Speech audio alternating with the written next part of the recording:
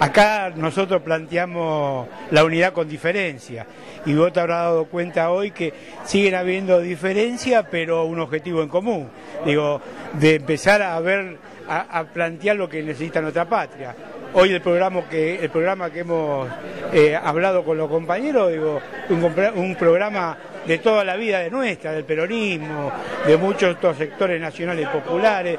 Así que yo me siento muy orgulloso como laburante y estar acá, dar la gremial, estar acá perteneciendo como vicepresidencia de este partido.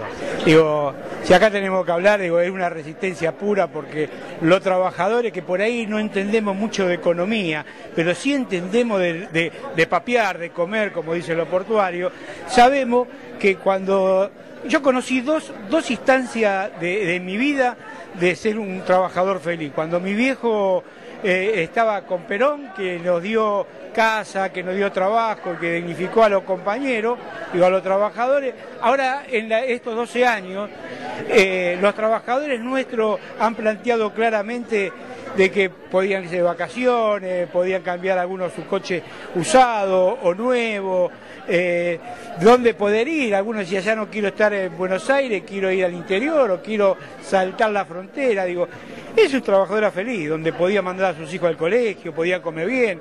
Esos son trabajadores felices. Entonces nosotros planteamos eso. Queremos esa herencia que están planteando los domás, que lo dejaron, que no hay plata, nosotros queremos esa herencia. También decimos que esa herencia tiene que ser con profundización, porque por algo hemos perdido a las elecciones.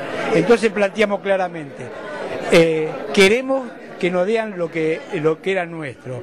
Queremos plantear que queremos profundizar y queremos discutir con todo el movimiento obrero, con todos, con estas diferencias que podamos llegar a tener. Apostamos que los trabajadores que siguen las distintas regiones están unidos y que por ahí en las centrales no están todavía unidos, digo, que tomemos el ejemplo de las regionales, donde ahí no hace falta ser de la CTA, no hace falta ser de la CT, de, la CT o de la CGT y todos pelean, todos pelean por por un bienestar.